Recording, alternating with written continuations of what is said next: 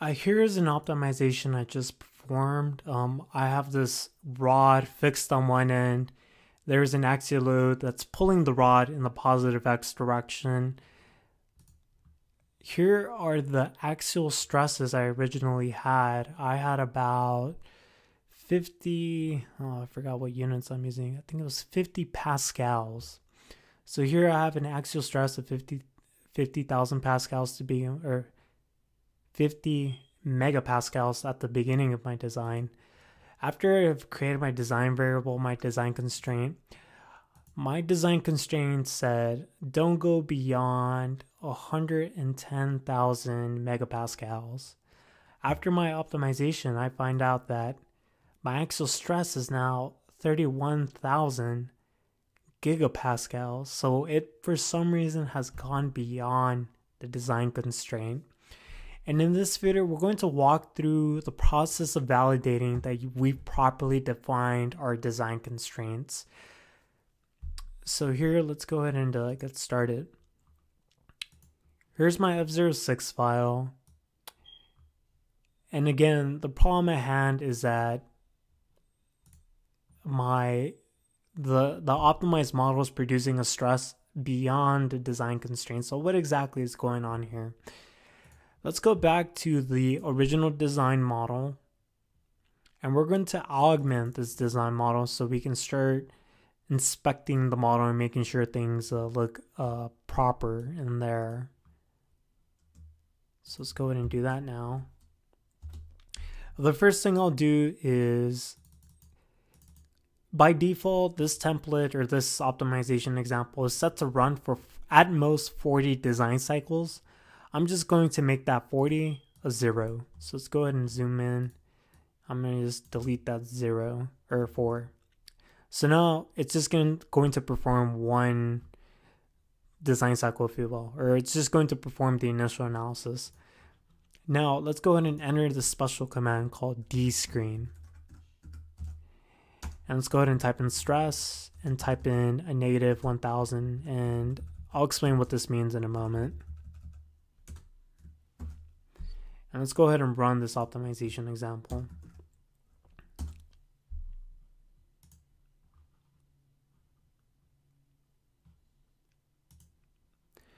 And then one thing I'll point out right now,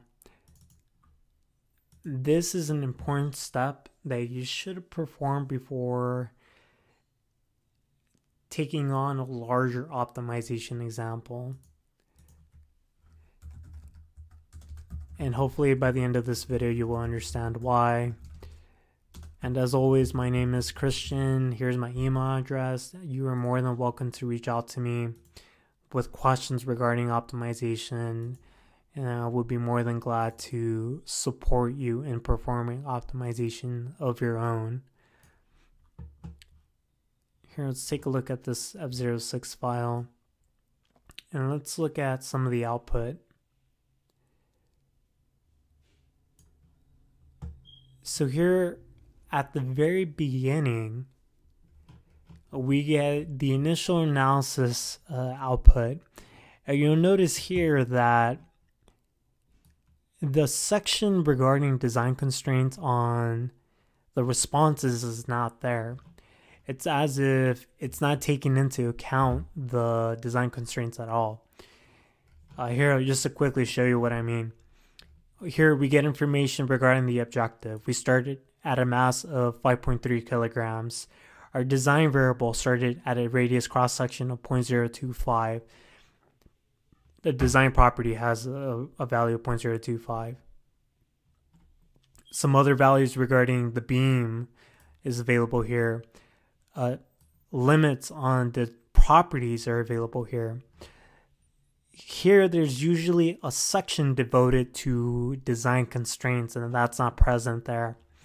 Then we get a summary of the responses. So here we get the actual value of the objective 5.3 kilograms. And then after that, proceeds on to the first design cycle where we see the same, or rather, almost the same information available but now let's look at the new F06 file we've created. And you'll find out there's some additional information in this F06 file. And we are going to look at the summary of the initial analysis now.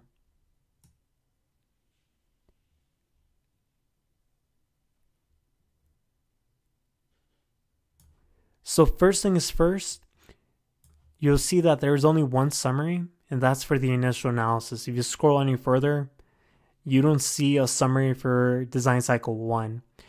The reason that happened back in the design model, we specified des max of zero. So it said don't go beyond the first initial analysis. In the original model, it had des max equal to 40. So here it not only did the initial analysis, but it went through design cycle two and all the other design cycles after that. So here we didn't want to uh, have the optimizer optimize the whole model. We just wanted to stop at the first analysis just so we can inspect and make sure our design constraints are properly set up. So now let's look at this information in more detail. Here on the right, we see the design objective, the design variables, the design properties. But now we see this new section called design constraints on responses. MSC Nastran will normalize all of your constraints. I have a separate video on that. Uh, look through my YouTube channel for that video. Out of all of these normalized constraints, there might be a hundred, a thousand, a million. Through each design cycle, MSC Nastran will select the most important constraints. It will retain those constraints. It will say, okay, these are the constraints that are the most troublesome.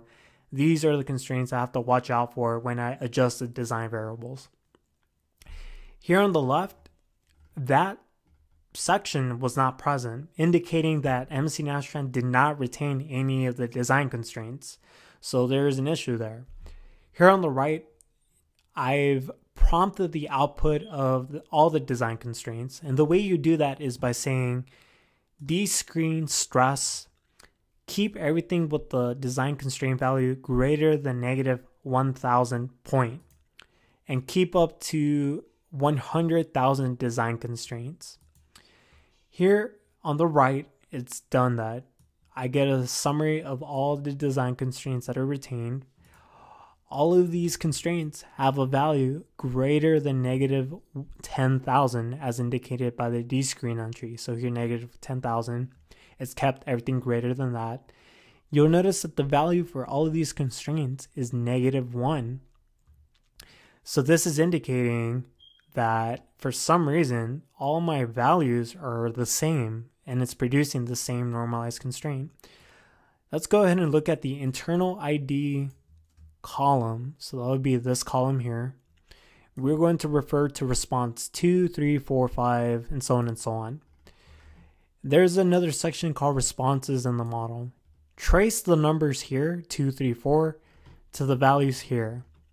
Here, this is where I find the values 2, 3, 4, 5, 6, 7, 8, 9, 10, 11. Again, this is not available in the original F06 file, again, because MSC Nastran will screen certain constraints. And here, since it found that these constraints really have no impact on the design model, I can effectively ignore these constraints. And here it goes through the optimization, almost ignoring these constraints. After prompting with the descreen entry, I now get to look at the constraint values and really inspect and see what's going on here. So after looking at the normalized constraint values, finding out that they're all the same value of negative 1, this is telling me that the axial stress is the same for each element, which is really odd. Let's go ahead and see if we can figure out why. When I look at the responses in the design model, the stress responses for element 1 through 10, the axial stress is 0 pascals. Now that's really odd. This is a model that's definitely being loaded. Here, I originally had an actual stress of 51 pascals, and for some reason I'm getting 0 pascals in my F06 file. This is usually indication that there might be an issue with the way I configured my design constraints. So let's go ahead and inspect this. P bar 2 1. So here the design constraint is being applied to any element associated with P bar 1 so that would be elements 1 through 10. And it's referencing the second item code. Let's go ahead and jump back to the quick reference guide and see if we can track down what's going on there. So here's our MSC Nastran quick reference guide. We're looking at the stress item codes for C-bar elements. We were using an item code of 2, and this is really odd because this corresponds to the stress at point C of the cross section at NA. But this isn't the axial stress. This is actually corresponding to a bending stress at point C of the cross section. What I should have used is element or item code 6 which corresponds to the axial stress. Here, by using item code 2 which is a bending stress and given the fact that this beam is not being loaded to produce beam stresses. That is why I'm getting beam stresses of zero here in the F06 file. Let's go ahead and make the adjustment in the model. So I'll take my web app and instead of two, let's go ahead and use the correct item code of six. And then let's take these statements and use them in my design model. So I'll be here and let's go ahead and replace these statements with the new one. Again, the issue was with the item code. I originally made an error that cascaded down to the point where the optimization wasn't even considering the right design constraints. And hopefully now you understand the importance of performing this check. Let's go ahead and run this optimization example. Uh, while that's happening, let me point out another detail. You'll want to go ahead and change the des max back to 40. Here I left it at 0 so this optimization won't go through successfully. Let's go ahead and delete these files and try this again.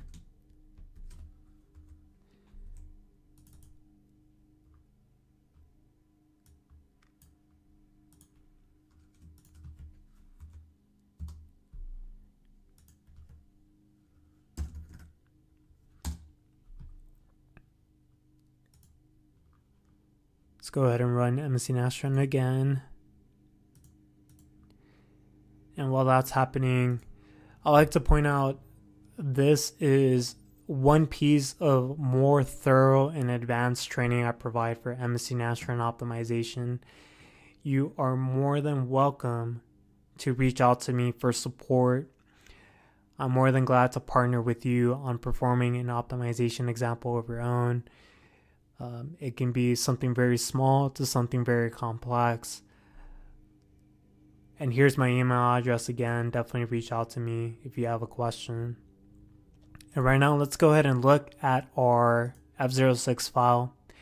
The optimization is still happening, but enough has happened where I can look at the summary for the initial analysis. So here I am remember that before the values for the actual stress were being reported at zero, we found out that I was using the wrong item code here in the design constraint. By using item code 2, it was pointing to a bending stress. Since the model is not loaded for bending, I was receiving values of 0, and it was those values MSC Nastran was using for the optimization process. And that's what led to this unusual result where I still had an actual stress value of 31,000 uh, gigapascals. But now, after I fixed the issue, I'm using the correct item code of 6. I am now getting non zero actual stress values. Here, I'm getting 51,000 pascals. You'll see that these values of 51,000 pascals or 5E7 are corresponding to the actual stress values that I can see in my pre-post processor Patran. So here I've confirmed that I finally am using the right constraint values for optimization. And if I look at the very end, I just want to make sure that I have this message run terminated due to hard convergence. Perfect. So now let's go ahead and attach the new XDB results. It could be a master file, it could be an OP2 file in your case. The new result files have both the initial results and the final design results. So now what I can do is refer to those results and make sure that the actual stress is under what I intended it to have. So here, let's go ahead and look at that. So here, the initial actual stress values. And let's go ahead and take a look at the final design stress values. Perfect. So now we are at an axial stress value of 110 megapascals, which honors the design constraint I originally intended. So now the model is properly configured, it's performed the optimization. I can now view the updated design variables. And again, this is a procedure I recommend doing. Uh, one, use D-screen stress, negative 1000 and 1000 if you're dealing with stress. If you're dealing with displacements, you would type in D-screen disp. And you would say keep everything with the mat, uh, with the normalized constraint value greater than a thousand and keep up to a thousand constraints. The normalized constraint value again would uh, be referring to this section design constraints are responses. It would be referring to the value column. These are normalized constraints, by the way. And it would keep up to a hundred thousand constraints. So with that, that's the end of this video. Feel free to send me an email if you have any questions, comments. Uh, if you want to go through this example um, a little faster, a little slower with me in person, I'd be more than glad to do that with you too. With that, that's the end of the video, and as always, thank you for watching.